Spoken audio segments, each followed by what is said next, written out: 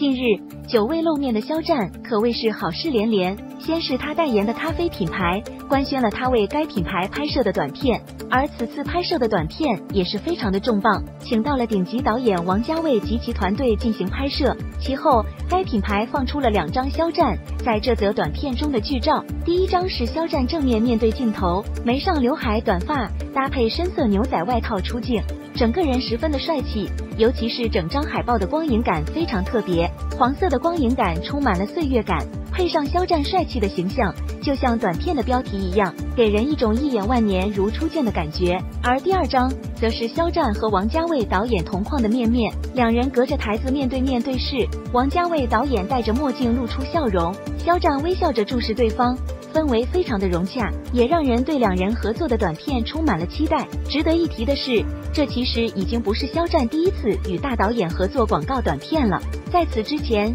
肖战还与贾樟柯合作拍摄肖战代言的某购物平台的广告，当时就给大家留下了深刻的印象。而这次又能与另外一位国际大导演合作，也是证明了肖战的实力。除了与大导演合作广告短片之外，在同一天，话剧《如梦之梦》官宣了十周年的巡演日程。在公布的海报中，肖战稳占 C 位，也是确定了肖战会继续出演话剧《如梦之梦》。除此之外，还公布了演出城市和日期，可以看到总共有三座城市，分别是西安、昆明和北京，时间都集中在十二月份，分别是十二月一号到四号，十二月八号到十一号。十二月二十号到二十五号，上中下旬各有一场，这对于肖战来说也是一个非常大的挑战。毕竟话剧都是现场演出，对于演员的要求比较高，尤其肖战饰演的角色的情绪起伏比较大，每一场都有哭戏。肖战不知道会不会哭到眼睛都肿了。不过粉丝们对于话剧还是非常期待的，